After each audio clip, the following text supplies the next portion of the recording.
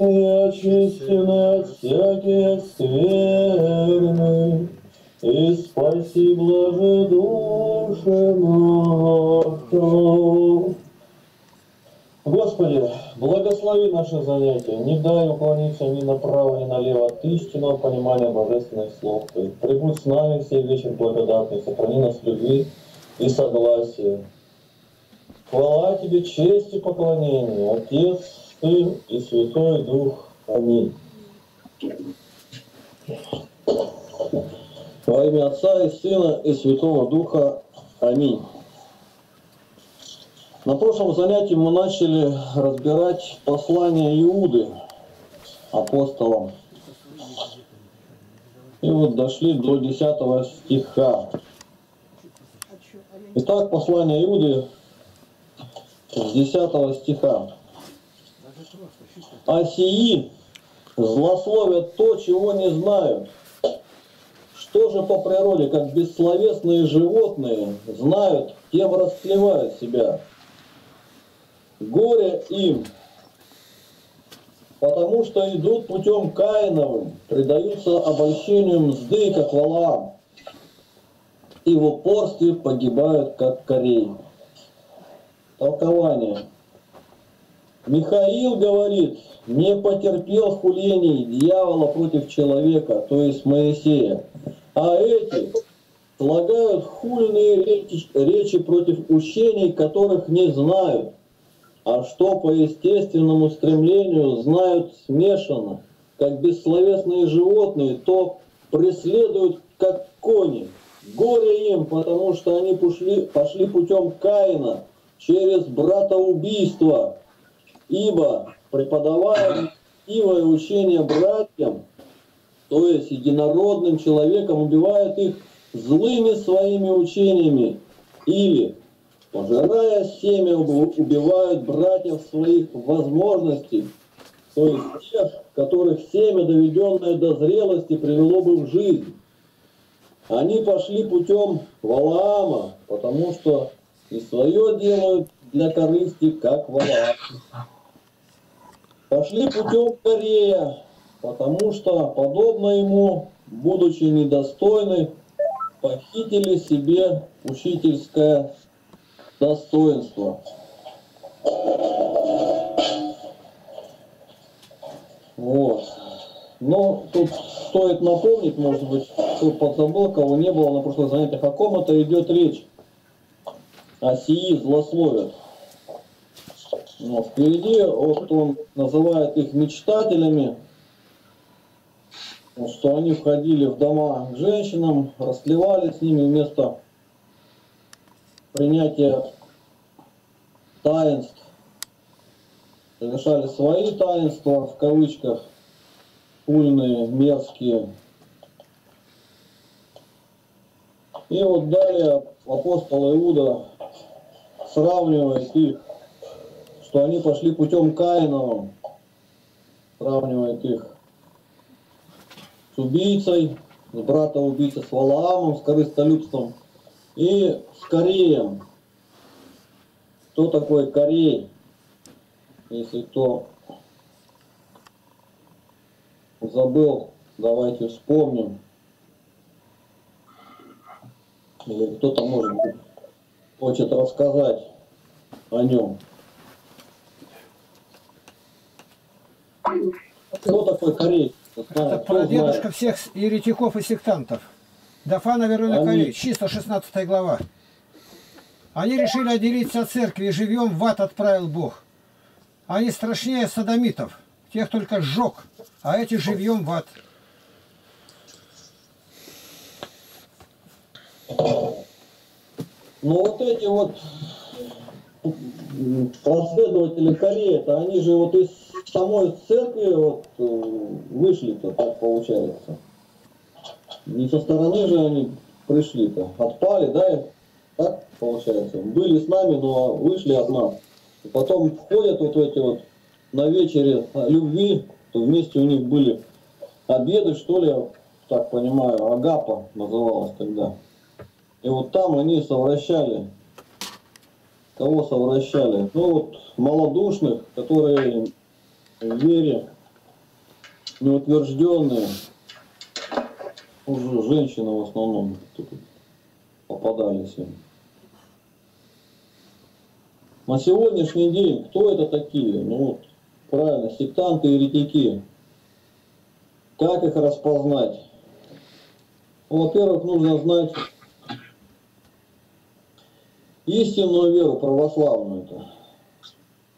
Потом, когда сравниваешь истинное учение Христова с лжеучениями, тогда легко разобраться. А когда истинного не знаешь, а тебе лживое кажется истинным, и Дух Святой не подсказывает, что они тебя в погибель-то ведут. Поэтому вот мы здесь и собираемся и разбираем подробно, чтобы нам не быть обманутыми, и души наши, чтобы спаслись, потому что вне церкви нет спасения. А эти вот лже учителя, сектанты, они уводили из церкви людей, вели за собою. А почему? Корыстолюбие, как, как, как, как корей. Это вот как с. Он был корыстолюбие, упорный, как корей, самозванцы. Сами себя рукоположили, встали и давай сами себя провозгласили учителя. Никто их не, Бог их не избирал. А как узнать? Они говорят, а где двое или трое соберутся, там и церковь. Да не соберутся, а собраны Духом Святым. То есть сами себя провозглашили, собрались. И дальше вот у них еще и пошли путем Каиновым. Каиновым. А причем тут вот, э, Каин, протоубийца и вот эти сектанты. Они души погибают, убивают души, поэтому он с убийцем и с Каином. Каин телесно брата убил, а эти духовно убивают. Смерть духовная гораздо страшнее, чем смерть телесная. Господь говорит, не бойтесь убивающих тело, души же не, мог, не могущих погубить, но бойтесь того, кто и тело, и душу может отправить в гиену огненную. Бога. В, одной, в одном случае с маленькой буквы того, в другой с большой. И вот споры, кого дьявола нужно бояться или не нужно. Опасаться нужно, но более Бога нужно бояться, бояться его огорчить. А дьявол, он тело может забрать, там, есть у него такая прерогатива. Вопросы по этому отрывку, если есть дополнения, задавайте, пожалуйста. Если нет, идем дальше. Сережа, да. ты внимательно смотри, которые слова говорят. Прочитай еще снова. В упорстве погибает, как корей. Слово упорство, упрямство, твердолобость. Угу. Оно не относится к тем, которые впереди перечисляются. Это относится только к Корею. И попробую угу. говорить, вот сектанты, так называемые свидетели Иеговы, они каждый день меняют свою тактику. Грозная, зловещая, неуловимая. Сейчас новое услышал толкование, что церковь это когда-то будет. Сейчас церкви вообще нет на земле. Это совершенно новое у них появилось. Они себя называли церковью. А откуда вы взялись? Те люди сказали, они не из серебролюбия пошли. Славолюбие. Показать себя. А чем мы хуже других? Все святы, весь народ святой. Что вы себя выставляете? Они так говорят помазаннику Божию, к Моисею. И эти сегодня все одинаково, копия, также себя ведут. А когда говорит о Каине, Каина убийца, убил родного брата. Эти-то все откуда имеют Библия, все от православных. И они отвергают всех святых отцов, убивают. То есть они попадают и в эту графу полностью, когда мы не признаем святых отцов, родных братьев наших. Как они могут отрицать Игнатия Богоносца, это младенец, которого ребенок брал Христос на руки, будущий епископ Антиохии которого а, арестовали, увезли, утащили в Рим, и там на арене львы его растерзали. Какие его послания, шесть посланий, они ничего не знают, только клевещут, убивают. Когда начнешь говорить, они говорят, а что вы нас судите? Ну ладно, мы вас судим. А кто вы такие? Мы вас и называем потомки Корея. А вы судите, то есть отвергли 1800 лет. Сколько было святых? Может быть, сотни миллионов. Они всех отвергают, то есть убивают. Это и как Каиновы дети одновременно. Вот так надо смотреть. В упорстве погибают, то есть они очень упорные. И только Бог может их размягчить сердца. Вот смотри, как говорит, а как так? Как солнце любви. Чем больше Бог терпел фараона, тем больше он безумствовал. И тогда Бог говорит, высушает любовью своею, сердце его, он как камень делается. И он не отпускает народ Божий. Так и эти, они его как бы пленяют, что их нету там, или они нехорошие, они неправильно понимали, они понимают. А если правильно понимаете, почему все разные? диаметрально противоположные. Попробуй соедини мормонов с адвентистами, не получится. А адвентистов с баптистами, с харизматами, не получится. Сейчас новые секты, камень веры, Отечество Небесное, это название. Название, то сколько слов есть в словаре, на каждое слово секта. И вот ни одного грозного такого послания, ни одной книги нету в Библии, как послание Иуды. Оно маленькое, одна глава. Но ты посмотри, как он перечисляет все. Так он что, что такой беспощадный? Тебе зачем слова эти говорить на себя гнев Божий навлекать? Вот сейчас на 30 ноября обратились в городскую администрацию города Барнаула садомиты, чтобы провести этот парад мерзости. Почему они не подают у Рамзана Кадырова? Почему они не подают там, где сейчас Алания? Подали бы там, где сейчас Осетия северная это. И все, их 300 человек, заявка была, все, 300 человек исчезли бы. Ни одного не было бы. Они бы вырезали то, что надо вырезать, расширили бы эту дыру. Их называют проколотые. И главное, бьются, чтобы детей отдавали, изымали из православных семей, а им бы отдавали. Им бы отдавали. Что бы они с ними делали? Это, государ... ладно, еще президент ответил так, когда был за рубежом, они верхом там на него садятся, наш президент. И он говорит, у нас детей и так мало. Ну, под видом, что дети, чтобы не развращались, а хоть один ребенок подойдет к ним там где-то во время их шабаша, то считается нарушение уже закона. То их легко их прибрать к рукам-то. И поэтому народ, который видит эту мерзость, он поневоле потянется к мусульманам. И их там сразу в один день всех подбирает к рукам. Они выжигают их. Как Бог сделал в Содоме и Гаморе. Гей-парады, разные там трендеры, всякую глупость городят как конфессия, деноминация. Нет этих слов, есть слово ересь. Отошел. Благодарю Ну и попутные вопросы. Как с ними, с еретиками бороться?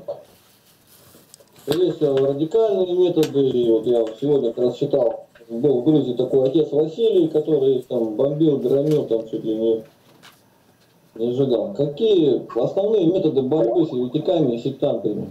А вот давайте, какая, какие методы борьбы с тем, что с Афганистана поступают наркотики? Речь идет о тоннах героина. Показывают в интернете. Да очень простая. Ян Златоуст говорит так. Вот этот паяц, клоун, кривляется, ему дают деньги, он живет. Вы не давайте ему, и он умер. То есть он пойдет работать. Так и здесь. Не берите, не ходите, не смотрите. Молитесь. И все кончилось, и героина не будет. Ну, привезли они сюда, через Афганистан, через южное подбрюшье России. Дальше что? Вот по Теряевку приехала машина с героином. Единственное, что мы можем опрокинуть и сжечь ее. Вызвать милицию, полицию. Это все от нас зависит. Не надо говорить, кто-то виноват. Виноваты мы, что идем и смотрим эту пакость. Я в городе прохожу, я никогда не вижу плаката. А мне говорят, почему вы не бунтуете? Вот смотрите тут что, там около глав почтам-то большое панно такое показывают. Я не видел ни разу. Глаза опустил к низу, иду и молюсь. Чего я буду смотреть-то? И все, никто не будет брать, реклама сдохла. Вот как бороться, молитва и неучастие. Больше не надо ничего. И в Индии кончился колониализм Англии. Не вышли на работу и его связали, притащили, он стоит на месте. Бить не за что. И все. Империя пала. Морская владычица потянулась домой. Вот как надо. Не участвовать. Не кормить, не давать ни копейки. Все.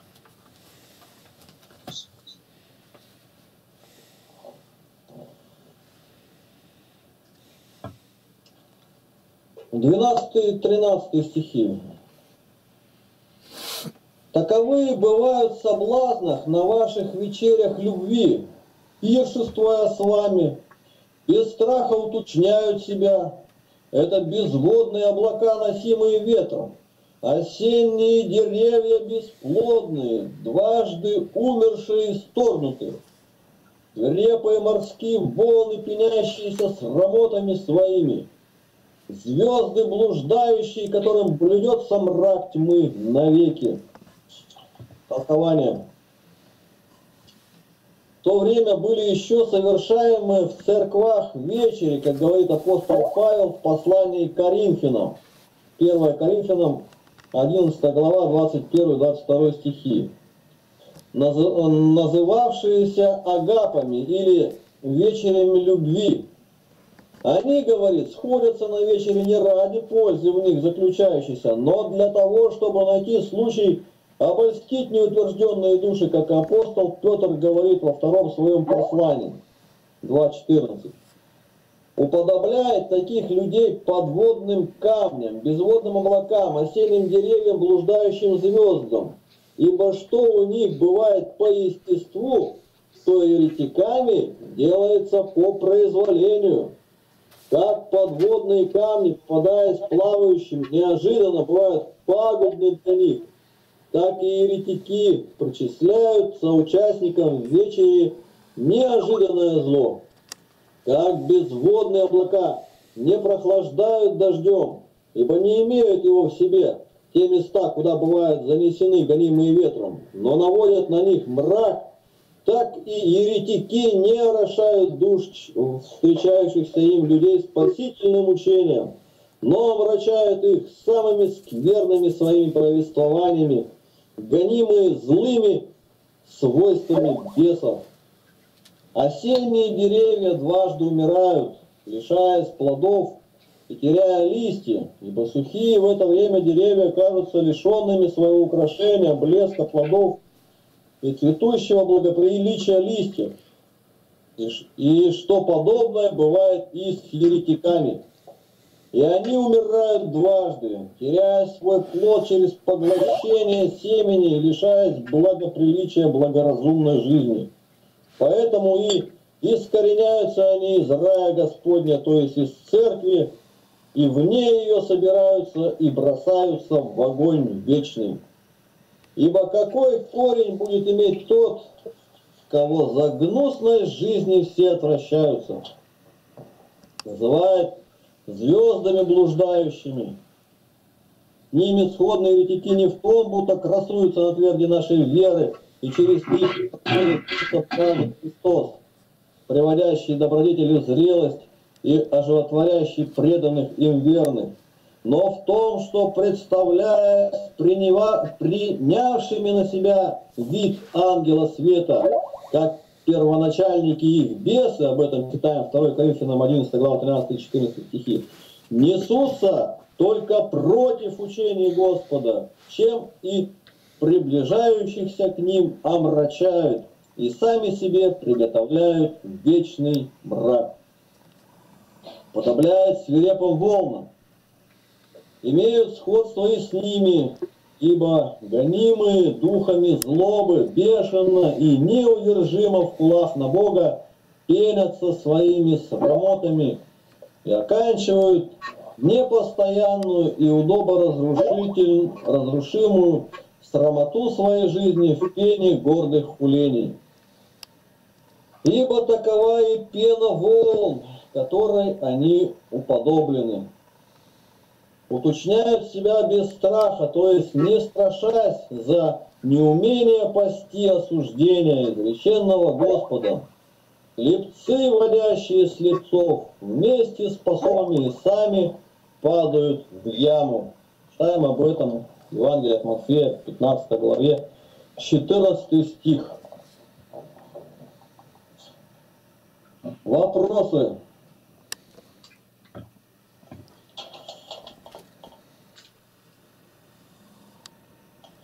Да, грозное обличение еретикам, конечно, тут.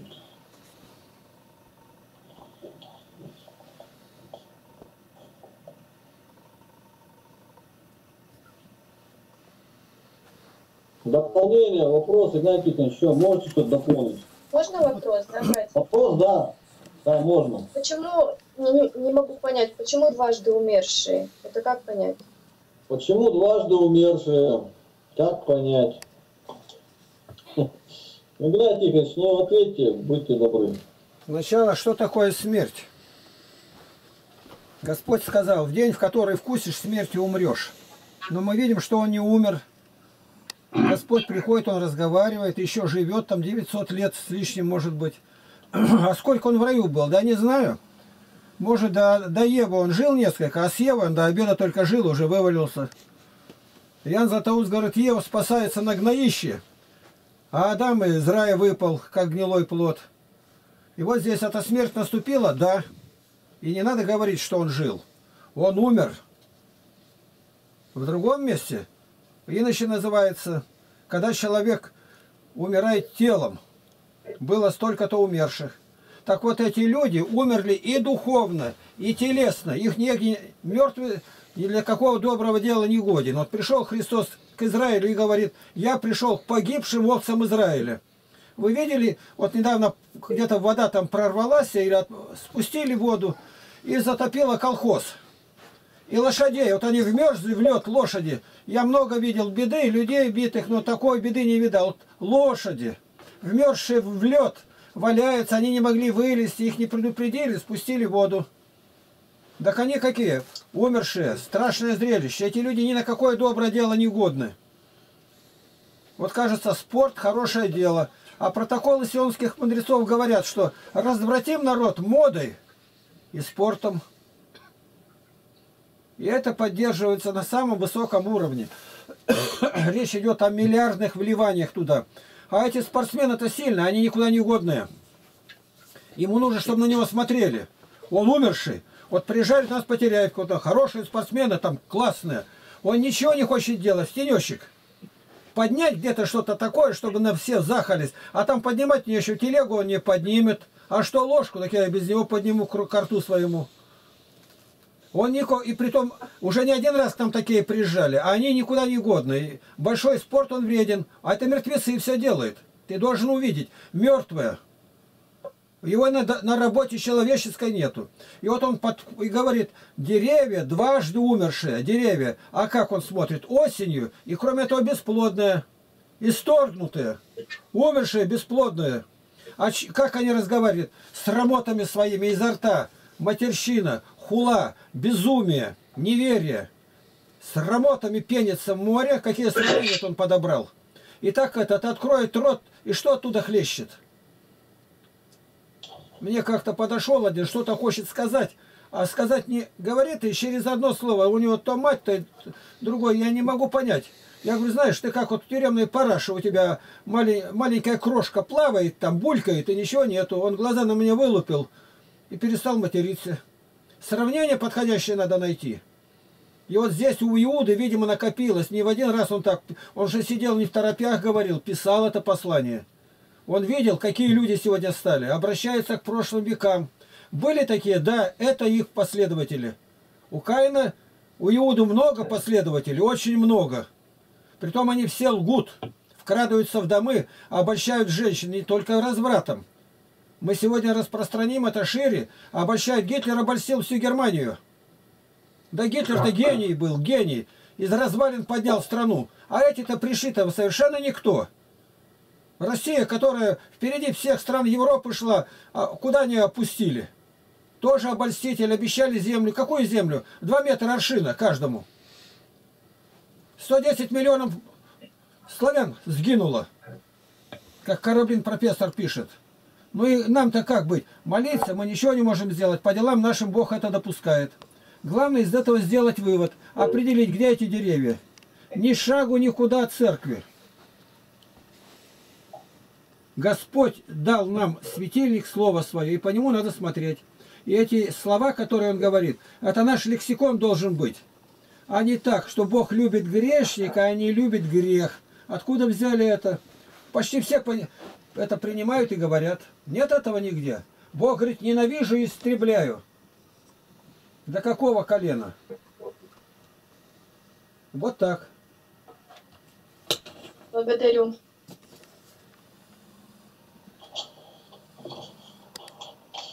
Так, продолжаем.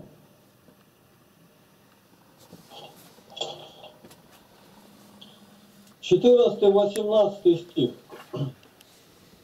О них пророчествовал и Енох, седьмые от Адама, говоря, «Се идет Господь со тьмами святых ангелов своих, сотворить суд над всеми и обличить всех между ними нечестивых во всех делах, которые произвело их нечестие, и во всех жестоких словах, которые произносили на него нечестивые грешники. Это работники ничем недовольные, поступающие по своим похотям, нечестиво и беззаконно. Уста их произносят надутые слова. Они оказывают лицеприятие для корысти. Но вы, возлюбленные, помните предсказанное апостолами Господа нашего Иисуса Христа. Они говорили вам, что в последнее время появятся ругатели, поступающие по своим нечестивым похотям. Толкование. Сказанному выше присовокупляет, что и Инох пророчествовал о предлежащем им наказании от Бога в последние дни, то есть в день праведного суда Божия. Между нечестивым и грешным разность такая. Нечестивый грешит в отношении к Богу, а грешный уклоняется и в делах жизни от цели правды. После всего, оставив уподобление нечестивых, уже самым делом приступает к обличению их, называя их работниками, укорителями. Работник – тот, кто сквозь зубы и не смело порицает неприятно ему, а укоритель – тот, кто всегда и над всем смеется. Эти гнусные суть работники и укорители. Они работники, ибо не дерзают открыто пользоваться учением своим по его гнусности, так как небезопасно обнародовать нечестие свое, соединенное с развратом и хулением. Они укорители, потому что клевещут на все чужое и на самую истину, чтобы тверже поставить свое собственное зло и разврат. Сказанное выше, что еретики, подобно Валааму, увлеклись мздой, теперь поясняет словами. Они оказывают лицеприятие для корысти. Оказывать лицеприятие значит льстиво обращаться с начальниками. Вопросы задавайте, если есть у кого. Дополнение, пояснение, Игнатий Тихонович, желаете? Я ходил печку, растоплял. Я там огонь разжигал в другом месте. Не для, не для еретиков? Нет, нам холодно. Я сегодня весь день просидел в зимней одежде, в пальто. Можно вопрос, да? Да. Скажите, пожалуйста, Игнатий Тихонович, вот тут апостол Иуда поминает Еноха. Есть такая книга Еноха. Почему она не вошла в канонические книги? Он же здесь неплохо о нем говорит, о Енохе. А откуда вы знаете что-то из книги Еноха? Вы сверялись с книгой Нет, Еноха? он Это- тут- Это изречение взято из книги Еноха, которое нам сегодня преподносят. Оно совершенно не относится. Значит, было что-то другое, что знал Иуда, чего не сохранилось. Это объясняет Ян Златоуст. Для меня этого вполне достаточно. Он говорит, и будет, пророки предсказали, будет наречен Назареем. Какой пророк? А ссылку делают на Самсона, он вообще ни к селу, ни к городу. Нет этого Златоуст говорит. Иудеи много уничтожали, многое теряли. В пленении, в рассеянии были. И когда канон составляли, в канон входили послания Климента Римского. И Ермы, Пастырь, все. Но следующие уже, их эти произведения выделили в отдельную книгу. Нам не надо спрашивать, почему. Там были апостолы, Для нас достаточно этого. Более 300 апо апостолов, епископы. У меня вопрос никогда такие возникает. А почему они взяли только четыре Евангелия? Профессор Владимир Филимонович Марцинковский говорит так. Существует церковное предание, что в это время было около 20 Евангелий. Евангелие Басилийска, Евангелие евреев. То есть перечисляет, какие были. Их взяли все вместе, положили на престол в алтаре, закрыли, опечатали. Это опечатывание уже было, как Даниил об этом пишет. Печать наложена. И когда утром пришли, печать вскрыли, зашли, все лежат брошенные на пол, а только четыре лежат на престоле. На это э, профессор Марцинсковский говорит, но если бы даже не так, мы же доказать не можем. Наше сознание, вера, Дух Святой на нашем престоле, ума и сердца оставили бы именно эти четыре Евангелия. Потому что если Евангелие от Фомы будем брать, там написано, Иуда был ровесник, играл вместе со Христом. И они играли там каких-то голубей, делали из глины-то. А у Христа лучше получались голуби. Иуда соскакивал и ногами топтал. А мальчик Христос, Иисус подбрасывал, они летели, и там на, где вверху на подоконнике, на, на улице, на окнах-то садились. А он говорит, не, теперь объясняют, это святые отцы знали уже. Они говорят, если бы это было так, тогда бы не было написано, что в Кане положил начало чудес. Первое чудо это вино. И в этом чуде задохнулась вся Россия. Не могут поверить. Сегодня, мне кажется, нужно попросить Господь, сотвори чудо, вино, преврати в воду все, чтобы мне покупали там одна вода. Понятно, спасибо.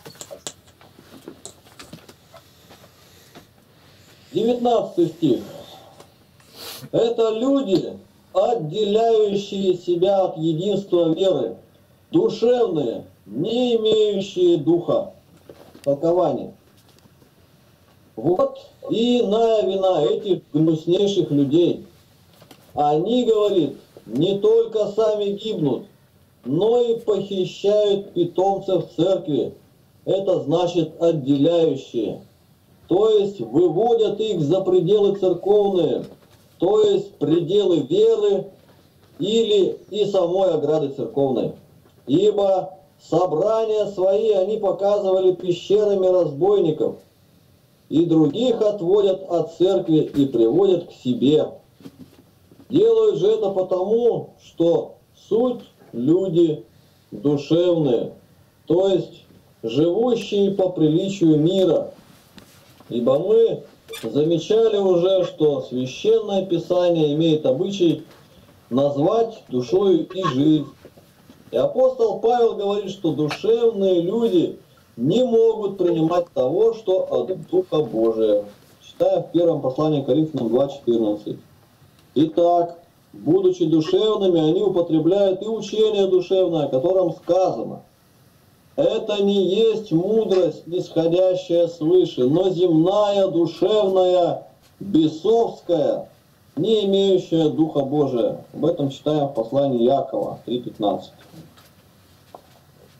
Вопросы?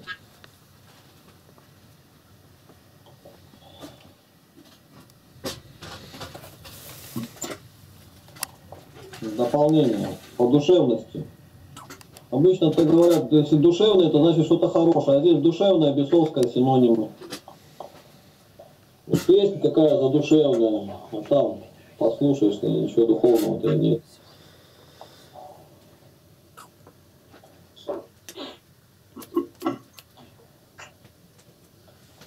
Нет вопросов? Игнатий Тихонович, дополните? О современности.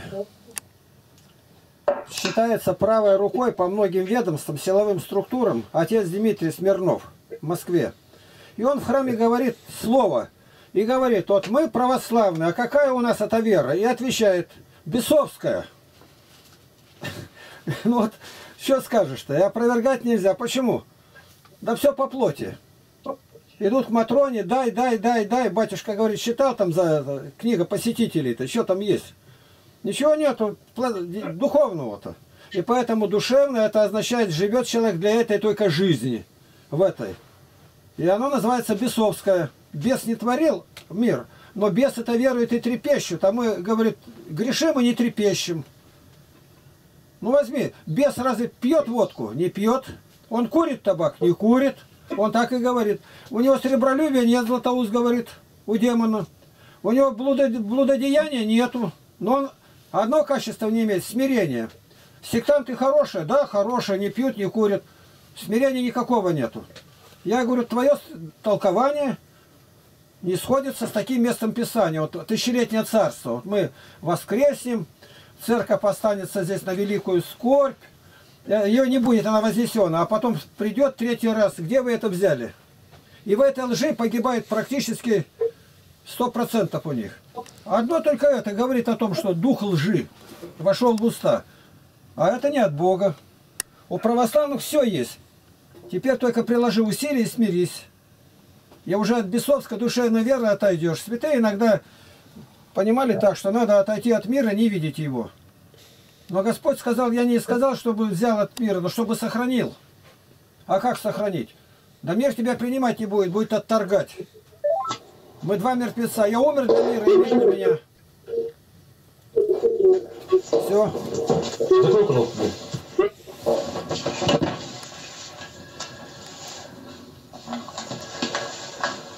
Продолжаем.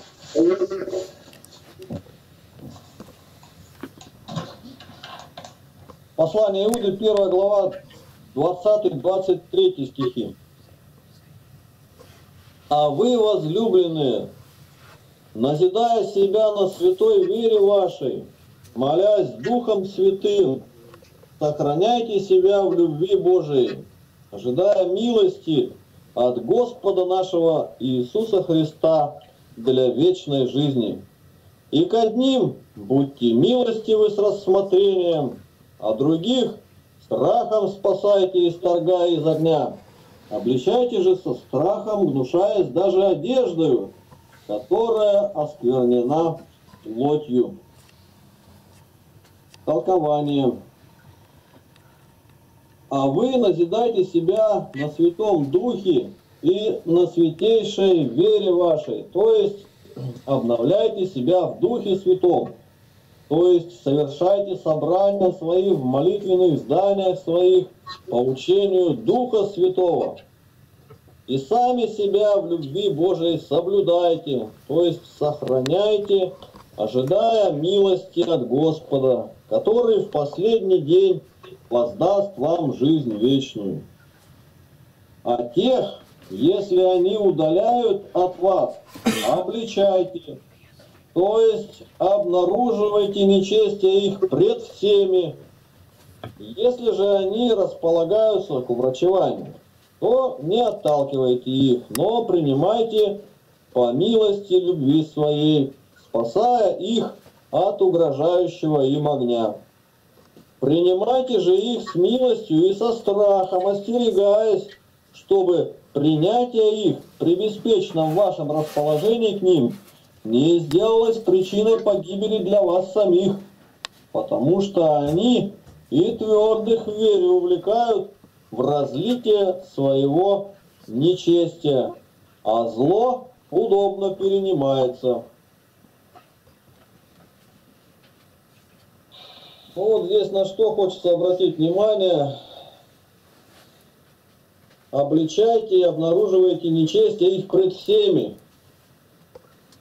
Пред всеми. И этого все так боятся прям почему-то, что вот ты перед всеми меня опозорил. Да Бог-то все видит, где вера-то твоя. Если ты в грехах своих не покаешься, вся вселенная узнает что ты сделал. Нет ничего тайного, что не сделалось бы явно.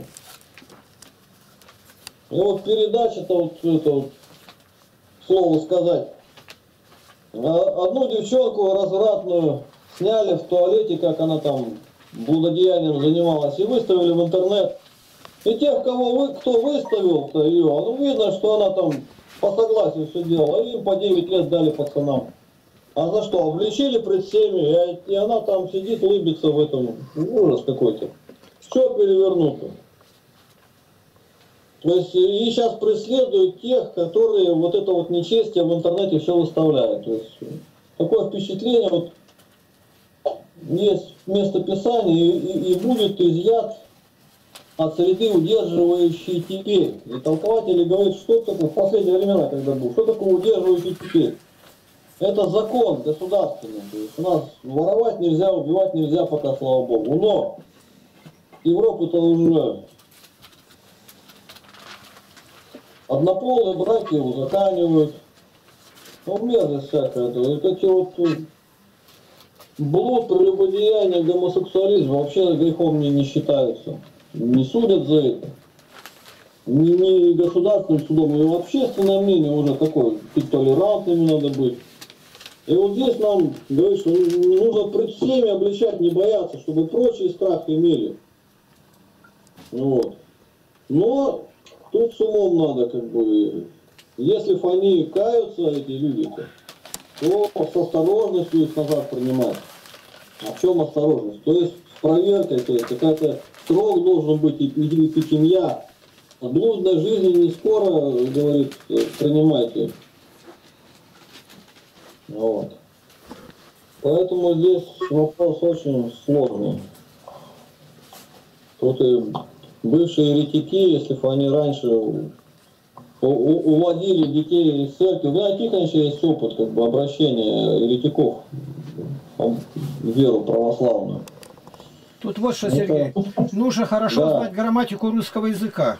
Если есть какое-то слово, определяющее качество, то есть его точное название – Вторая степень сравнительная, третья превосходная. Допустим, хорошо. Вторая лучше. Третья наилучший. Ну и любой, который ты возьми, такое определяющее качество, и всегда так лучше. Допустим, святой человек святее. И последняя степень святейший. Я к чему говорю, что нужно знать грамматику. Вот давайте мы откроем Святую Библию. В ней слово святейший встречается только четыре раза. Один раз вот в этом стихе, который мы сейчас прочитали, ну, Иуда 1.20. А вы, возлюбленные, назидая себя на святейшей вере вашей, молясь Духом Святым. Не просто слова говорить, а Духом Святым. А вот это второй вопрос объяснять надо. Это святейшая вера, которую отвергли все сектанты. У нас вера не просто вера, а святейшая. И в этой святейшей вере были от самого начала. Когда я спрашиваю, скажите, вы верите, что крестным знаменем крестились? Нет, нигде не сказано. Но у нас история есть от первого века, написанная.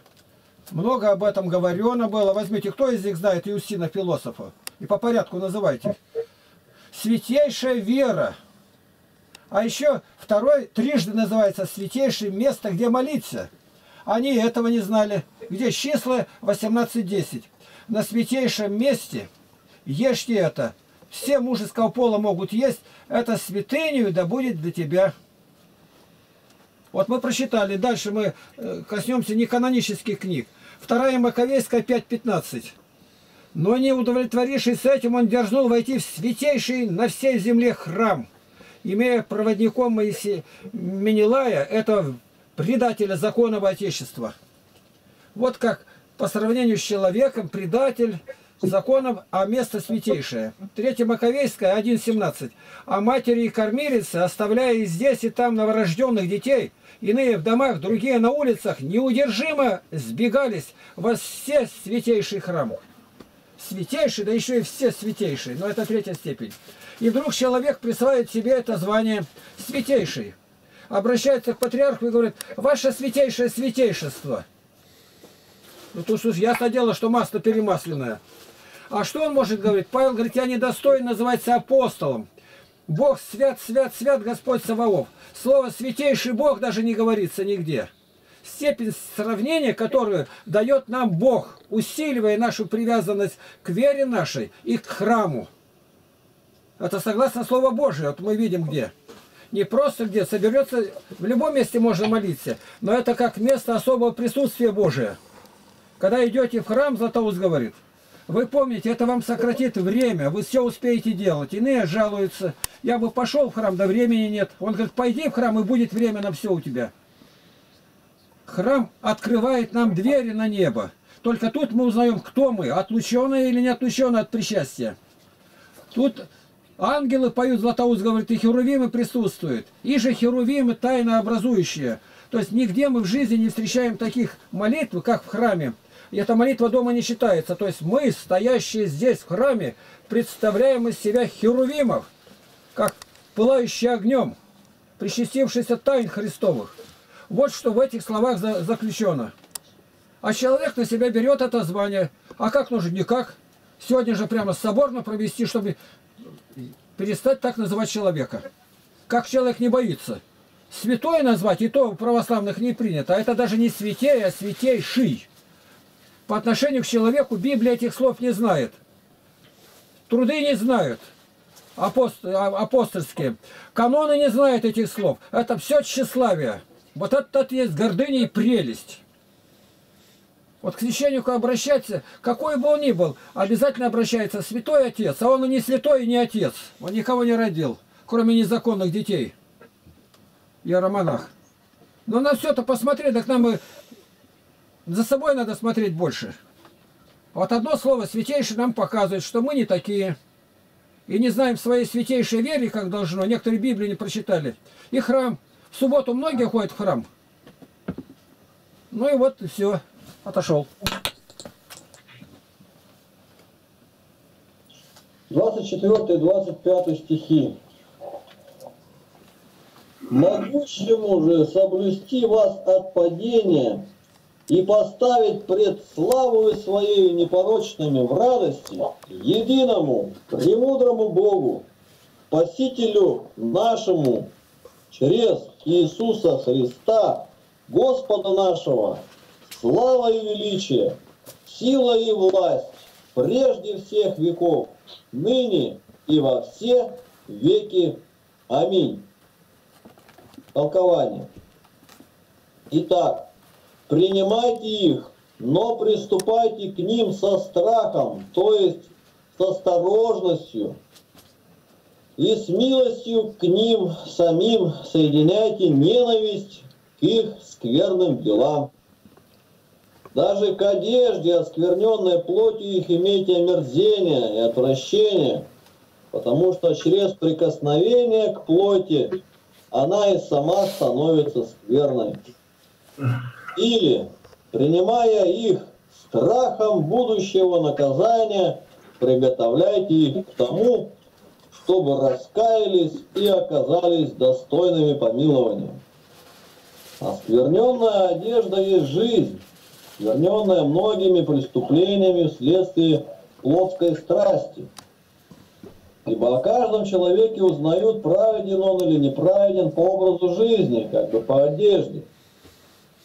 Один имеет чистую одежду, добродетельную жизнь. Другой – оскверненную жизнь с делами злыми. Или лучше, одежда, оскверненная плотью, есть такой навык и настроение совести, которое развращает душу пометованием о порочных движениях и действиях плоти, смотря на которые постоянно, как на одежду свою, душа наполняется зловонием страстей. Ибо как от духа через добродетели, постепенно прилагаемые одна к другой, образуется для души одежда нетления, облегшись в которую она становится прекрасной и преславной, так и от плоти через постепенное присоединение одних страстей к другим образуется некоторая нечистая, оскверненная одежда, сама собой показывающая свойства души, и придающая ей иной вид и образ, а не Божий. Сказав это, апостол заключает послание свое молитвой, как печатью. Пожалуйста, вопросы. Задавайте. Ну, Дыбунов Игорь, могу сказать кое-что. Скажи кое-что. Но я хотел пример просто сказать. Вот в нашей общине как раз такое было. Ну, ты вот читаешь, а другие вот плотью, там, одежда, там, оскверненный, не понимают, может, до конца.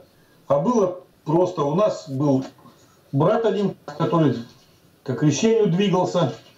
Семь лет он уже был блаженным. И вот так совершилось, что он совершил там, прелюбодеяние, вернее, блуд совершил, он не был женатый. И э, ему было э, сказано, чтобы он а, раздевался и надежду не вешал вместе со всеми, а бросал там где-то в углу, показали, чтобы даже одежда не касалась. И за столом нельзя есть, и за стол не садился с нами вместе. То есть вот это все продолжалось, ну, довольно долго продолжалось. Но он не выдержал и ушел через несколько лет. Там не пятиметра большая идет за это. Так что это, это на самом деле было вот нашей общине, вот этот закон как бы Божий провелся. Но у нас много что, чего еще было, конечно. И вообще хотел сказать и к предыдущему тоже, к предыдущим стихам, что вот это говорится ну, апостолам как раз к общинам. Не просто там, что ты вышел сам по себе и такой разговариваешь. Если мы будем смотреть места Писания, то Матфея 18 глава, Господь говорит о том, как церкви э, нужно дисциплинированно все совершать. И говорит, совершил против тебя брат. Не просто так скажи ему, подойди там, там его обзови как-то, или там предатель. А все нужно делать постепенно, по степеням. Сначала с ним переговорил. Если он не покаялся, значит, двух, трех свидетелей привел, братья. Опять не покаялся. Тогда ты скажи всей церкви. Всей церкви это значит уже сказать и священнику, и, ну, чтобы знали, священник там на собрание вы, выведет это, или как, чтобы, ну, чтобы было покаяние, если был грех совершен против братья, брата одного даже, как против одного совершил, так и против другого совершишь. Поэтому должно быть искреннее покаяние или оправдание, там, не знаю как. Ну, то есть вот трехступенчатая, трехчинная такая, такой подход ко всем вопросам должен быть. В общине должно быть маленькое, но Христово братство должно быть. Не один человек, конечно. Один, говорит, поле не воин. Ну, это не про христиан, но все равно. Любите друг друга, говорит Христос. Но если нету второго человека, как можно любить друг друга? Ну и Христос ни, ни одного спас. Он говорит, пришел, чтобы спасти всех в разум истину привести. Так что здесь разговор как раз вот идет об, об общине. Вот пред всеми, как сказать пред всеми? А перед своими. Это не перед тем, что там язычники стоят, и ты перед ними там ему рассказываешь правду матку. Перед всеми это значит, вот там кто-то стоит, кто желает это знать, а кто-то, может, уже подумывает, о, этому пройдет, и я тут же, как здесь. Нет ничего подобного. Дисциплина строгая, вино, вино э, строгости церковной и елей милости церковной благодати, как это было возлито на этого самого побитого разбойниками, который шел в Иерихон Иерусалима. Аминь.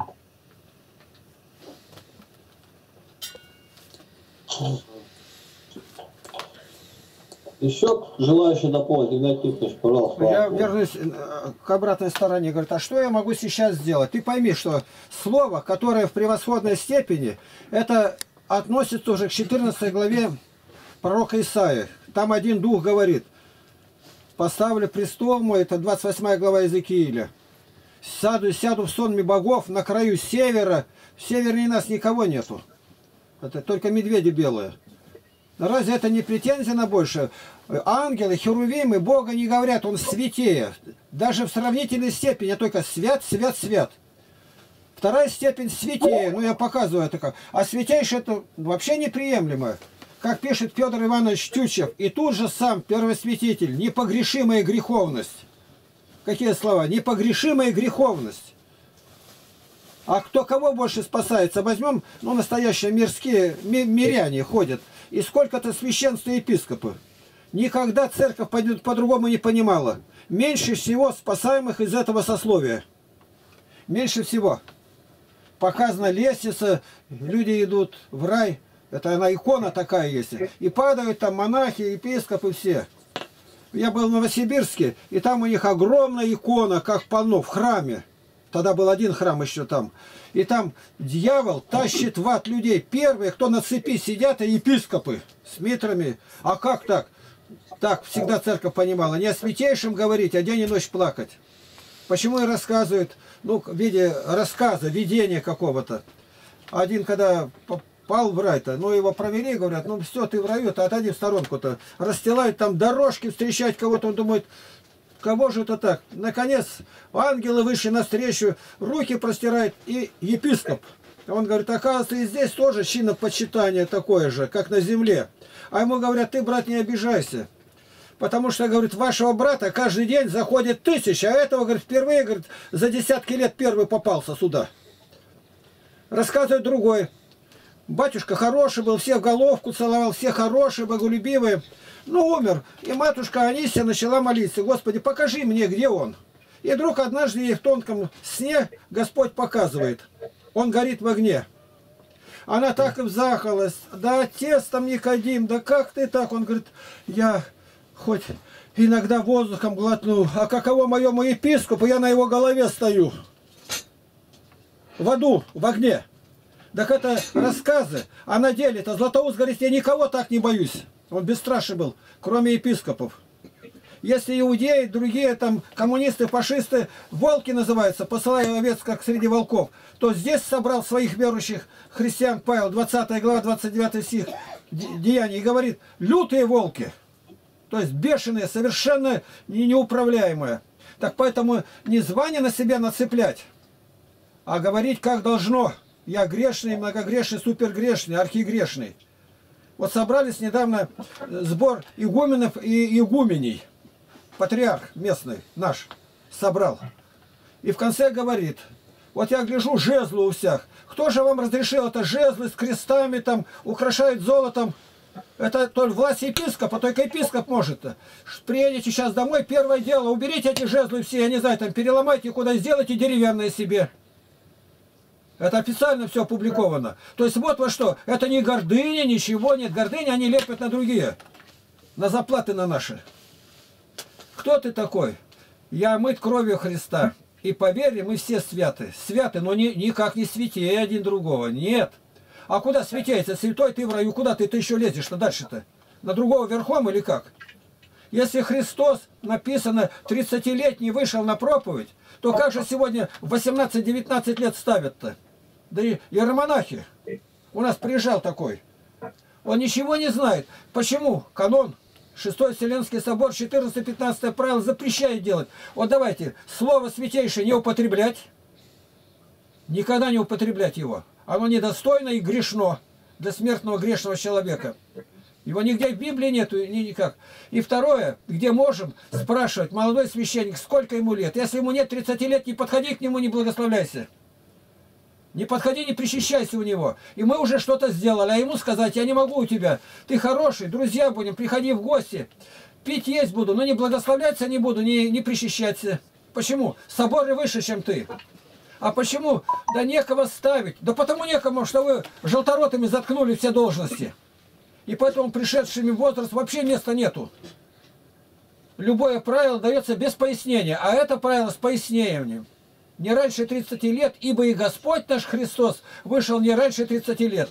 У евреев был закон, на проповедь может выходить человек, достигший 30-летнего возраста, в диаконы 25, в диаконисы 40. Это не мы придумали. И по диакон там 20 лет. И вот мы уже что-то сдвинули. Ты это услышал? Послание дано Иуды. Мы уже, уже начинаем делать. А не так, что прочитали, узнали и разошлись. Ты каждое занятие заканчивай так. Мы вышли из занятия другими, чем пришли. Я конкретно с сегодняшнего дня буду так и делать. Так и делать. Вот о чем я сейчас сказал.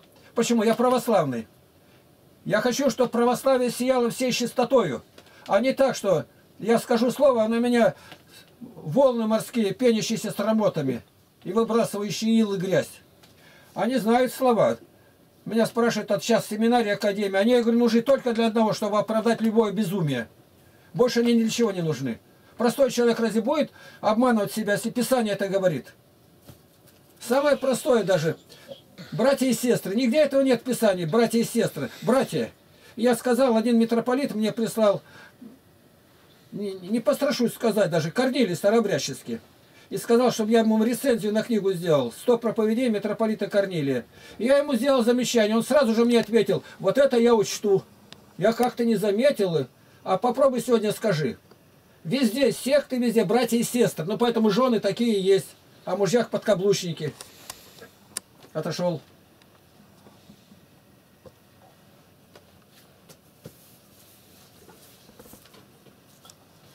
Вопросы, пожалуйста, у кого накопились за это время, задавайте.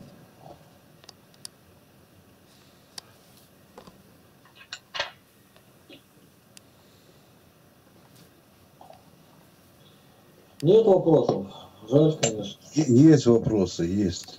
Только я хотел к Игнатию Тихоновичу задать вопрос. Он отошел или здесь находится? Можно задать? Здесь я, вот он рядом. Игнатий Тихонович, мне хочу задать вопрос.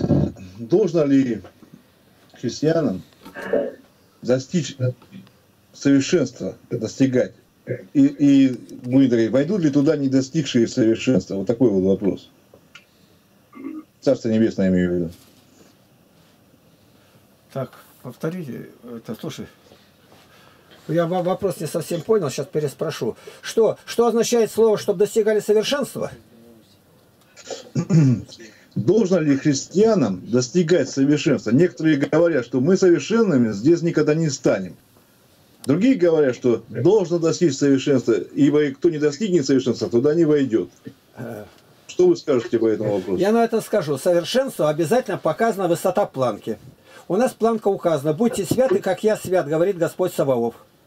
Вот планка. А это, а если он образец, если этот, этот оригинал в чем-то несовершенный, поэтому ученик делается как учитель. Мы никогда не можем быть как святый, как Бог, ибо в ангелах он усматривает какие-то темные пятнышки. Написано Писание в этом. И поэтому какая? Любовь есть совокупность совершенства. Совокупность не по одному пункту, по всем заповедям и новозаветным блаженством. И в жизни, и всюду. И ты даже одно слово сказал не так, ты должен заметить. Дух Святой подскажет неправильно. Последствия вот какие. А вот это могло обратиться. Вот я просто маленький пример хочу сказать. На днях, ну, кто ко мне хочет это, по, ну, вопросы задать, он должен внизу в скайпе написать. Не просто так звонить, там, ни свет, ни заря.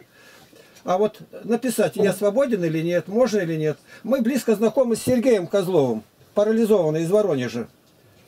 И он ни разу не зашел, чтобы сначала не написать. Каково ему писать, когда у него ни руки, ни ноги не движутся. Он все равно как-то там плечевым суставом руку там дергает и все равно что-то напишет. Мне пять минут приватно, то есть лично. Ну, не для записи. Ну, сказать-то я имею право, я что буду хранить-то? И он говорит, вот вчера вы разговаривали с этим человеком, его звать Дмитрий, я не буду называть пока фамилию. Он когда-то участвовал, когда другие участвовали, и тот человек участвовал, Сергей устроил встречу. Этот человек противничал. А вот здесь, как вы с ним разговаривали? Вы ему ничего не напомнили, то, что у него было. И как-то так ответили, он, видно, прямо усиленно идет к православию. Я не могу, говорит, слез удержать. Вот как он заботится о каждом, кому что сказать. Он это увидел, другие никто этого не увидел. Ведь мало или бедно у нас посещает не два человека. У меня есть ролики, которые, ролики больше 200 тысяч. Это не все, конечно, но 100, по крайней мере 100, почти все, кроме, может быть, Яна Златоуста проповеди. Почему он это увидел? Потому что он стремится к совершенству. Он увидел, та душа уходит, и он говорит об этом и плачет. Вот надо достичь этого состояния. Вот авария, я сегодня посмотрел, когда Боинг упал, и и по секундам показано, как он горит, и все ничего. На, на аэродроме оказалась маленькая железка. И потом уже через два месяца узнали, железка была от предыдущего самолета оторвалась, Боинг другой марки, в другом государстве. И она проколола шину, а кусок отлетел, все рассчитано на один килограмм удара, а тут 4 килограмма, это резина, она ударила в крыло пробила бак, бензин вспыхнул, провода разорваны, искрилась и сразу вспыхнула. И все сгорели до одного, больше ста человек. Я к чему говорю? Как плачут люди, показано стоят. Он говорит, погибли родители, всю жизнь скопили деньги, съездить за границу, сели уехали, я один остался. Ни жена, ни дети, родители старые. А мы видим или нет падших своих родных и близких? Вот это совершенство. И как? Когда он обращается. Мы говорим, Какая у тебя радость самая большая? От любому задай вопрос. В твоей жизни были счастливые дни? Ну, наверное, были. Он не знает даже. А ты исследуй. Вальтер Скотт говорит, в моей жизни было только полтора дня счастливых. Абдурахман Калиф говорит, в моей жизни при наличии там всех жен его, всего богатства, только два дня счастливых во всей жизни было. Значит, земное счастье скоротечное. И вот нужно нам понять, если мы стремимся к совершенству духовному. А Ян Богослов говорит, для меня нет большей радости, как слышать, что дети мои ходят в истине. Радость. Вот радость эту мы испытываем или нет, когда новая душа через нашу проповедь приходит к Богу. А отсюда делаем противоположное. Самая большая печаль, когда человек уходит от Бога. Уходит все, кто куда-то. Он теряет связь с церковью. У нас самая большая печаль. Не родственники погибшие, а как? Об одной душе спасенной, говорит, на небе ангелы радуются. А когда падает что-то, небо темнеет. А почему Златоуст говорит так? Если одна душа погибнет по твоей небрежности, о священник, тебе не хватит всей твоей жизни, чтобы рассчитаться перед Богом, ибо за нее умер Господь, пролил кровь. Как ты мог пренебречь? Иногда говорят, ну а что я пойду к нему, что у меня с ним общего? Он говорит, все общее. Одной природа от Адама. Мы по Адаму все братья и сестры. Один воздух, одна земля. Как ты мог так пренебречь? Я вот вижу в человеке изменения, он говорит, я уже и не курю. Какая для меня радость. Я хожу и пою, я не курю, я не курю. Отойди, сатана. Почему? Потому что человек дорог для меня. Что храм его начинает освобождаться от этой мерзости. И тогда дольше, больше там будет благодати Духа Святого. Он стремится к совершенству. Сегодня мы видим этого нету, но мы не знаем, чем он закончит. Надо скорее успеть. А совершенство у нас всегда находятся примеры. Какие? Свят Господь. Господь Христос показал пример. Святые. Павел говорит, подражайте мне, как я Христу. И в ком видите этот образ. У нас обязательно где-то кто-то есть. Вот в школе учительница задала вопрос. Скажите, кто у вас есть такой, которого вы уважаете и любите? Ну, кто написал Гагарина, там Терешкову, все. А одна девчонка написала, я бабушку больше всех люблю. А учительница тогда и говорит, вот смотрите, что Катя написала, бабушку любит. Катя, я не знаю твоей бабушки, хотела бы познакомиться, но я думаю, что она верующая. Она говорит, а как вы узнали? Мы с ней вместе в храм ходим. Она так меня любит, она меня рано поднимает на мою утреннюю молитву. А я спать прямо хочу. Она говорит, ты ляжь, внучка, а теперь отдохни, ты помолилась. Мы двое молимся вместе. Это домашняя церковь. И она любит Господа, и учительница угадала это. Вот нам что нужно делать. Это совершенство. Если не сегодня, то когда, говорят святые отцы. Не сегодня, то когда. Если не я, то кто? Не надо ждать, что придет герой какой-то, как Емеля поймает какую-то щуку, и она ему все сделает. У русских все время ждут какого-то Ивана-дурачка, который на принцессе женится. Начни, я это должен делать. Господь говорит, кого послать? Молчание, не на небе, на земле. И вдруг один выходит, меня пошли. А он и не знает, что у него уста нечистые. Вы знаете, откуда это сказано? Считайте, шестая глава книга пророка Исаия. И Херувим берет уголь и провел по устам. Вот, все, теперь иди. Иди и жги сердца людей, как в стихотворении пророк Пушкин написал. Вот мы стремимся к совершенству, к тому, что доступно для нас, а совершенство недостижимо. Совершенная любовь изгоняет страх. Сектанты говорят, а что я буду бояться? Там у нас любовь. Да на небе ее не будет. А сегодня бойся, ибо ходишь человек с падением своим. Многие потерпели корабрушение не без веры, а в вере, в вере. А многие, говорю, стали как враги креста Христова. Он говорит о прихожанах. И поэтому здесь все построено на страхе. Если страха у тебя нету, что в вену можешь попасть. Игнатий Бринчинов говорит, начни сначала, у тебя еще ничего не было, а то и любовь любишь. Ты не можешь любить Бога как должно, не зная, откуда Он тебя вытащил. Скажи, кто больше будет любить, кому больше простил? Кому больше? Вот так. Нам Он слишком много простил. Вспомни свою жизнь поганую. И ты возрыдаешь тогда, Господи, да куда же я смотрю, да кого я сужу? Мне плакать надо день и ночь. Почему? Совершенство в этом заключается. Слезами растопи оковы, которыми сатана сковал себя. Слез нету. Упустил время, проси, Бог даст. Если ты испытал, ты знаешь, что такое. Это ручей облагораживающий. Ночью растение омывается росой, а человек слезами на молитве. Богу слава. Отошел.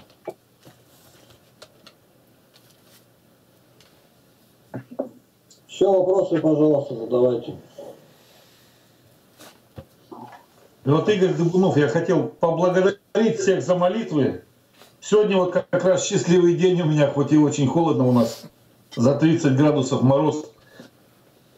Вот ехал на машине, и машина чуть не загорелась. Вернее, загорелась, но потухла почему-то. Но я молиться начал, потому что огнетушитель не сработал.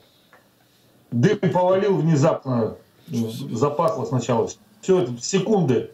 И, и еще и с собаками ехал, с женой. Ну, короче говоря, слава Господу нашему. Ну, только по молитвам, другое даже не знаю, почему потух огонь. А так я что... слышал, что много огнетушителей подделка продают. Поэтому на моих глазах тоже сгорела машина дотла было лет пять назад. Так что, да, есть чем молиться. Там везде пластик у меня, на пластик перекинулось, но, видать, не хватило там сил, я еще не, не вскрывал панель. Ну, вот так вот получилось. Ну, назад кое-как доехал, ничего не зажигал, ну, слава богу, вроде бы. Не знаю дальше. Ну, это уже слава Христу, что все так произошло. Помоги, Господи, всем. Молитесь друг за друга, братья. Да. Слава Богу.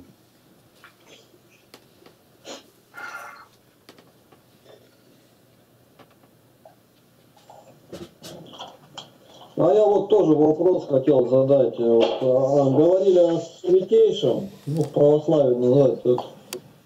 И вот ролики сейчас смотрю тайны мирового порядка, и там они говорят про католиков, что католики одну заповедь выбросили, не создай себе кумира. Я сначала, честно говоря, не поверил. А девятую и десятую не, не возжелай себе, чтобы десять оставалось. Не желай тебе, не желая жены ближнего, и десятое, не желай вещей ближнего добавить. Я говорю, да не может быть. Я хожу в интернет, смотрю католический катехизис, и действительно у них не создай себе кумира, нет. И там папа их тоже, он не святейшим себя называет, он тебя наместником называет. То есть наместник это на месте Христа на земле. Очень похоже, что вот наш святейший, а там наместник Христа, и вот где-то в ролике там конкретно говорят, что это служитель сатаны, папа римский. И пророчество, что будут изменять закон. как раз вот они вот этот вот закон Моисея это и изменили. Не создай себе кумира. А что бы именно эту заповедь они убрали? А потому что вот папа этот кумир и есть, все ему поклоняются, как Богу-то, наверное, уже. Вот. И вот Вопрос, действительно это вот так, и как в церкви такое может быть? И церковь ли это вообще, если закон Божий извратили? Преемство есть, я в это верю, как бы все, от апостола Петра, они себя называют. Но вот это для меня что-то это слишком большое откровение было сегодня. Это действительно так, знаете, кто-то может быть. Нет, не действительно. Не действительно, да? Не действительно. Они, если русские католики, пользуются синодальным переводом, у них есть розарий, там они могут. Розарий это как молитвенник у нас. Если мы были вот в Риме, в Ватикане мы были, там как в виде доски, как скрижали висят. И все заповеди как положено. То, что их в жизни не притворяют в жизнь, это вопрос совершенно другой. В этом и мы повинны. не пожелай там перечислять. Я не говорю. Ну, у нас тоже написано, не сотвори кумира, а у нас сколько? У нас можно на каждом шагу показать наших кумиров. И поэтому нужно быть с этим очень осторожным, посмотреть, как у них в оригинале, как они издают Библию. В Библии написано все до одной заповеди у них. А они издают на разных языках, потому что у них есть и испанцы, там, Южная Америка, и нигде не выброшено ни одного слова. Мне Библии разные попадали в руки, я потратил страшно много времени, сравнивая Библию, вот английскую, кажется, считаю по-русски сравниваю где-то все. Ну, более-менее ну, расширяющее к русски. Покайтесь, ибо царство приблизилось царствие Божие у нас. А у них покайтесь, ибо царствие Божие под рукой. Вот вообще не только приблизилось неопределенно, а прямо под рукой, at the hand, рядом стоит. И мы должны ну, везде взять доброе. Но они не написали, допустим, молитвословие. У нас молитвословие это не написано. Папа, он законный, но дела его могут быть самые беззаконные. Но он законный. Он имеет рукоположение. От апостола Петра идут. Я вот уезжал, в Томске был. Ну и познакомились с ксензом католическим. На расставание подошел благословился у него. И вот здесь в общем я спрашивал, поставить мне или не поставить этот ролик-то. Я знаю, какое было, будет здесь. Я поставил его, но маленько буркнули и все. Я, отлучить его надо. Я говорю, сначала начните с патриарха, с Алфеева, который там это, ну, Иларион и прочее. Благословение нам не запрещает собрать а, людей, мужей, которые имеют апостольскую преемность, преемственность. И поэтому стоят и патриарх целуется с ним, и, и судить его не надо за это. А то увидели, патриарх с папой встретился, запомирали. А что крестят по-католически, бритые стоят, вот его не видят. Надо смотреть глубже, а не на то, что незримая благодать, а он безблагодатный. Осторожнее будь, можешь ошибиться и похулить Духа Святого. Это мое понимание.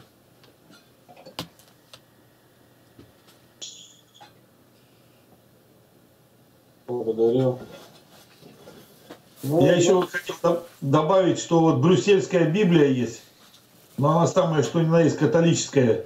И это самая полная Библия, которая выпускается. Даже в православии там многих стихов нету, какие есть там. Игорь, добавь только что, это в неканонической книге, 3 Ездры, 7 глава, 72 стиха, или 76. С 30, 36 стиха и по 107, да. Да. После 36 все, остальное все буква в букву. Потому что когда да. у нас перевод был с синайского манускрипта, там усп... потеряно было. Потому что Константин Тишендорф, исследователь немецкий, он эти рукописи буквально из печки вытащил. Когда он спросил, ну это на Синайском полуострове был э, монастырь Святой Екатерины. Он говорит, у вас нет старых каких записей? Да нет, монах отвечает. Он голову повернул, зима была, руки грел у печки. А он какие-то поленья черные толкает. Он бросился, выхватил. Что вы делаете? Это, да это, говорит, лежат, тут мы уже жгли сколько-то. Это Синайский манускрипт, с которого переведена наша Библия. А потом уже в 1936 году советское правительство продало английскому, британскому, не английскому, а британскому музею за 500 тысяч долларов. А по тогдашним деньгам это не один миллион сегодня. Я не знаю, наверное, раз в 30 надо умножать. Вот такова история.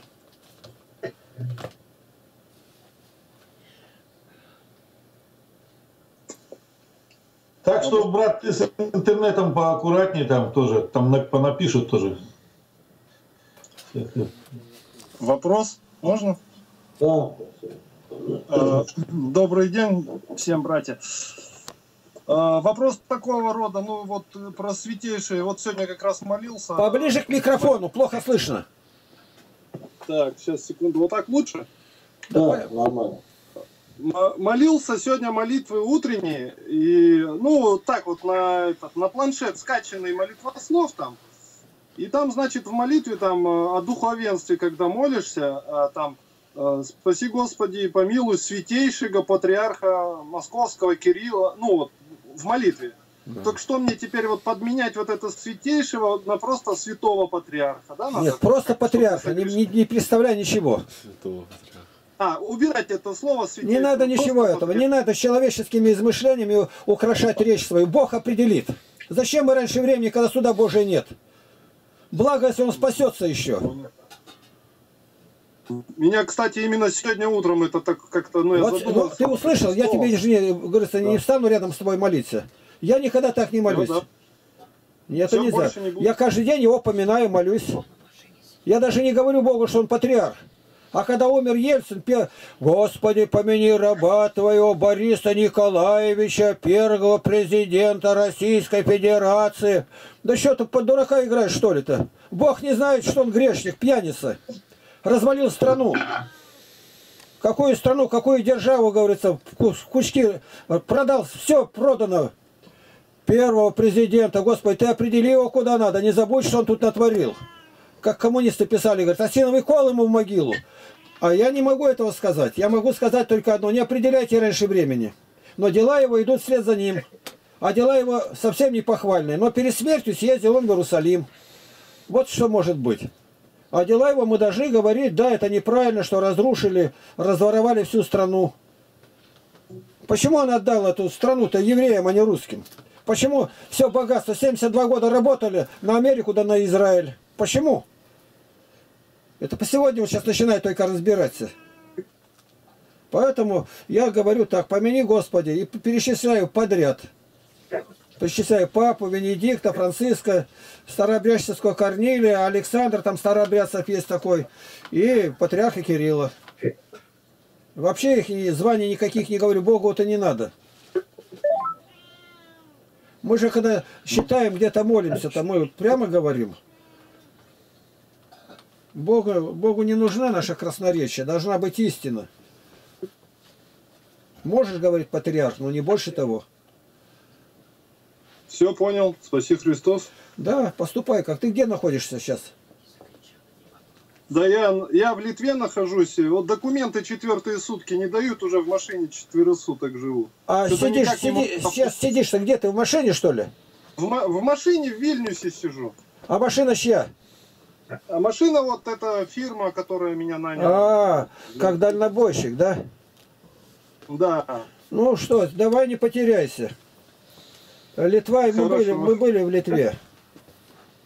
Были, да? Были, обязательно же. Когда мы из Швеции, там, поломка была, мы переплыли в Клайпеду, оттуда в Калининград утащили. Все, с Богом. Жду. Приезжай. Тебе по-русски приятно. Ага, спроси Христа. Мы тебе молимся, как о болящем.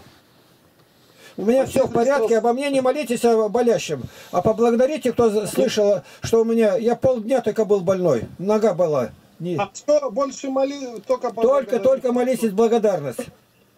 Приехал из Все, больницы, осмотр вчера был. На ногу наступить больно было. Посидел тут у компьютера, встал, вообще как будто не болело. Это мне Господь звонок дал. Там проверили все мои вены, везде. Все нормально, абсолютно все. И их не могут определить, там консилиум может решать будет, что у меня случилось с ногой. Ни одно предположение не исполнилось, не, не подтвердилось нигде. Думали одно, другое, третье, ни, ничего нету. Я знаю, это Господь. Ну а что за звонок, Игнатий Тихонович? Ай. Что за звонок? Звонок? Ну подошел ангел, может, копьем ткнул мне в ногу-то. Не спи. А потом видишь, что я так правильным путем-то пошел, Бога благодарю, и ни одной таблетки не съел, не дал нигде мне укола сделать-то. И ангел отошел и говорит, а может быть он сказал, а что с ним разговаривать-то? Убить не даешь ты, Господи, его. Ну, может быть, поймет он из-за одной ноги-то, из-за ступни-то. Я ему ткнул в ногу-то. Я так про себя думаю-то. И говорю, ангел, ты добрый, благодарю тебя. Я с Богом разговариваю, как с хорошим, близким другом моим.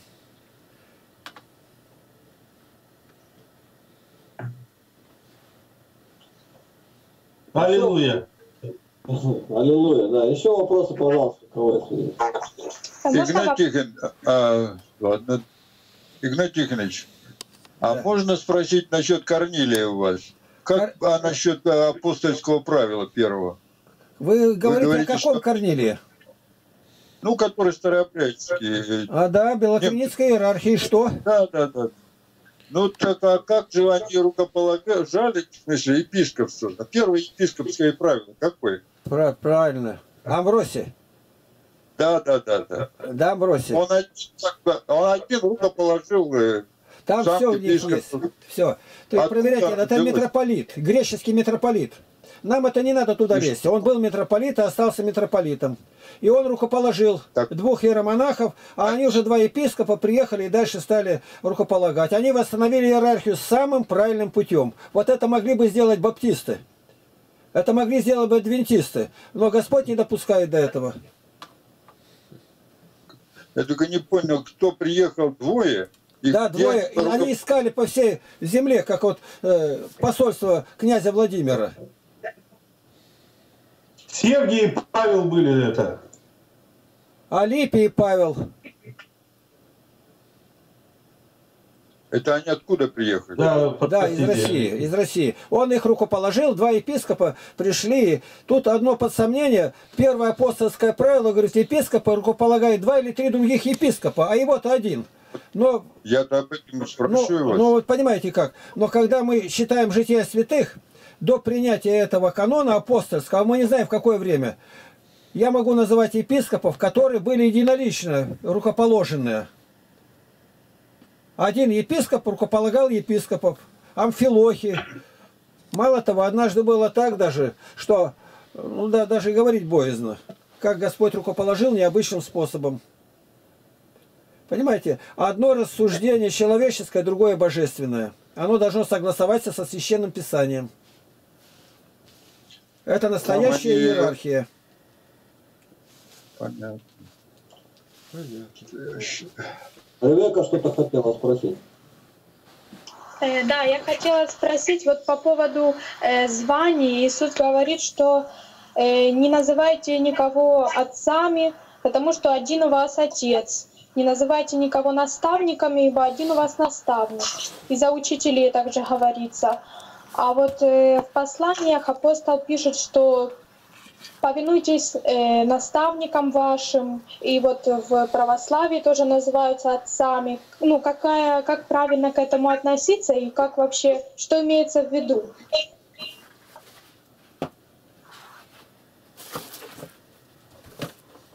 Толкование истины только то, которое не противоречит ни одному месту Священного Писания. Все сектанты это место берут в упрек православным. Я говорю, ну как же, одних поставил апостолами, других пророками, в-третьих учителями. 12.28 первое послание Коринфянам.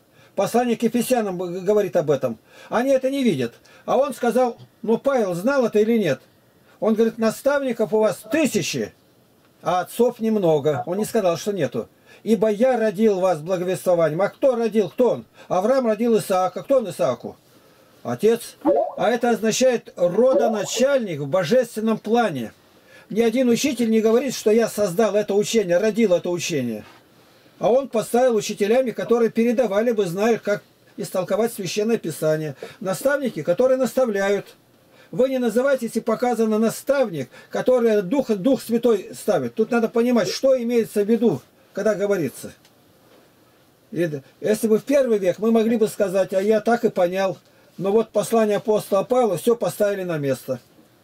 Не так вот, как священник сейчас молоденький, поставили, он неправильно рукоположен, неправильно крещеный, никто через него не обратился, и- отец, отец Виталий. А он даже не знает, ты попробуй ему руку не поцелуй-то. Он обидится. Я, я встречал это, я говорю то, что сам знаю. А другой он даже не заметит этого, нет. Вот мы за священником не гоняемся, вот он долго не был где-то, ну долго, совсем долго, приехал со священником, мы не подходим даже. Но когда пойдем в храме, и вы хотите, вы- подходим к кресту, к Евангелию или к иконе праздника, и тогда священник стоит с крестом, и подходим один раз. У нас по стенам никто не лазит, чтобы иконы целовать. Со свечками не ходят.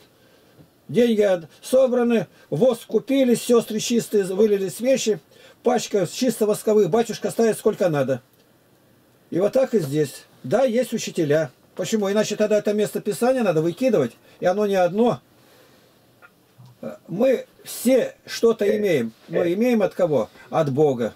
А я учитель, ничто. А я наставник, ничто. Все Бог во- возвращающий. Писание четко и ясно показывает, но Бог дал нам в маленьком уменьшенном виде показать, когда мы учим данным учителями. Вот мы учителя для детей своих являемся, отцами для детей, которых родили. Пятидесятники поняли, они говорят, нельзя отцом называть. Я говорю, а как? Папочка. Ну, еще я могу сказать. Ну, нельзя же. Папочка можно называть. Так папа-то и переводится отец. Папа римский. Почему не назовете тятя? Никогда в России папы не было. Папа один. Один папа. А сегодня, ну, не понимают этого совсем даже люди-то. И вот называют там, допустим, святейший. Хорошо. Но почему у нас в России столько регионов, и только один глава региона противостал против того, что президентом называется? Рамзан Кадыров. И он сказал, я президент. Какой я президент? Я глава определенного региона. Отменить. Почему ему не подражают? И везде там президент какой-то страны, президент шахматного клуба, президент один. Вот это нравится мне. Решительно. Везде аборты делает. Россия не может ничего сделать. Он в Российской Федерации находится. И все приняли решение своим меджлисом, как их назовешь, там, парламентом, думой. А аборты – преступление. Все. И у него сидят на собрании, когда он проводит, женщины все в платках. Сидят перед нашим президентом все без платков. Ну, можно что-то делать-то, ну, маленько-то строньте с места. Она в платке, она знает. И ни одна женщина не выступает, и руку не поднимает. Нигде. Что-то там заерзался этот Владимир Вольфович Жириновский-то. Он сразу его поставил на место. Клоун. Ты за собой смотри, что ты где сделал-то. Так, какая у него партия? Да, демократи, там говорит ЛДПР-то. Все. В нашей республике больше не будет ни одной урны, ни одного бюллетеня. Понял как? Он знает, что сказать по его вере. А ему говорят, а у вас вот многоженство. Ну, у меня одна жена. Ну, у вас бывает? Я говорю, да, у меня заместитель, у меня две жены. А куда ж Путин смотрит? Путин умница. Ему зачем сюда лезть? Мы сами разберемся. По нашей вере это разрешается. Понятно, как отвечает. Он никого не боится. Вот это можем взять для себя. Не бояться. Наша вера Евангелия. Не, у них своя священная книга. Он по ней будет перед Богом отвечать. Я отвечаю по Евангелию. Евангелие от Иоанна 12.48. И вот он дает нам пример. И он что? Он буквально сдерживающий щит. Это сколько сейчас, может быть, тысячи боевиков бы были здесь, взрывали все. Он, как ворота плотные стоят. Так его убьют, уже сколько покушений было. И он с пойманными покусителями стоит и разговаривает, нашел их родителей, родители плачут. И он с ними говорит и говорит, почему вы хотите меня убить, чего вам не хватает? Вот как надо поступать, а не сразу к стенке. Вот я беру пример, так он мусульманин. Ну, а относительно веры я не беру. Я у него был, у меня благодарность от него есть, я ему книги подарил. Там были мы у него, в резиденции. И мы должны видеть это хорошее отовсюду. Один президент, все на место. Да он как чтить президента. Центральная улица не имени Ленина, а имени Путина. Я нигде больше не видал этого.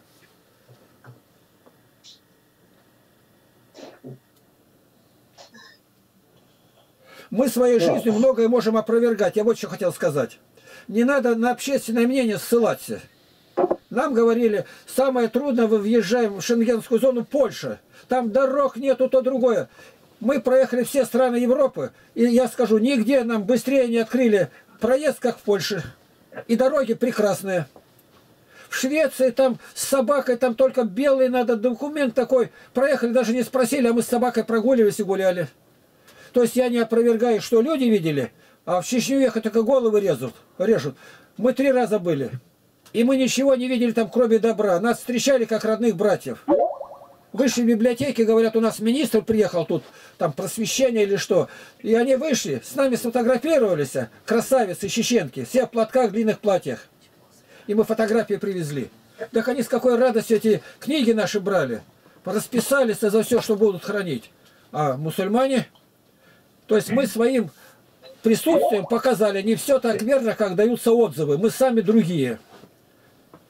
Мы молимся. Попросились в Дагестане, там вообще сложная обстановка была. Попросились комнату для намаза молиться. И нам директор сказал, открыли сразу комнату. Мы разулись. И по православному стали кланяться и молиться, и молиться за Дагестан. А я знаю, что у них там все записывалось. Мы молитву «Отче наш» прочитали. Да светится имя Твое и нас проводили с каким, говорится, почетом. Надо самим нам, где мы бываем, вмешаться, какой мы след оставляем, не просто наследили в жизни. Вот я сказал, святейший не употреблять. Вот сказал об этом. Корей, где Корей, да пана Берон, это секта. Никогда не говорите деноминация конфессии, это ересь, одним словом заменяется. Ересь. Никаких деноминаций Бог не создавал, церковь одна. У него одна невеста, не многоженство. Одна. И поэтому православие, католицизм, э, там григориан-армянцы, эфиопы, сирийцы, вот пять. Это одна церковь. Как говорят, разные ответвления, мы скажем, разные части. Они сохранили рукоположение от апостольских времен. Я к любому из них подойду и благословлюсь. А если буду где-то в незнакомом месте и при смерти, никого нету, прищищусь.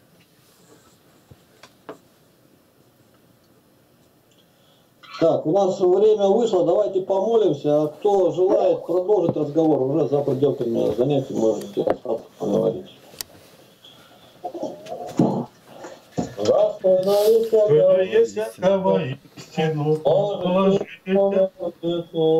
Пресноблаженную и пренепорочную, Ты Матерь Бога нашего, честнейших героев, и славнейшую без сравнения Серафим, без исключения Бога Божию, сущую Богородицу Тебя величаем. Геннадий Тихонович, помолитесь. Отец наш Небесный, любящий Создатель, мы просим Тебя во имя нашего Господа Иисуса Христа, умершего за грехи наши, прими нашу молитву и соедини ее с молитвами всех святых, угодивших Тебе. И услыши молитвы всех, кто молится о нас во благо нам. Благодарю Тебя, что Ты удалил боль. Благодарю Тебя за болезни и за здоровье, за друзей и за врагов. Соделай так, чтобы все наши родственники познали Тебя, чтобы мы были светом для них, как город на вершине горы. В чем мы погрешили на этих занятиях? Ты нас прости, Владыка. Мы это сделали неумышленно. Пощади и помилуй наследие Твое. Тебе, Господи, слава, хвала, честь и поклонение, Отец, Сын и Святой Дух. Аминь. Аминь. С Богом, помоги Христос всем. Богом всем. Сережа, выруби нас оттуда.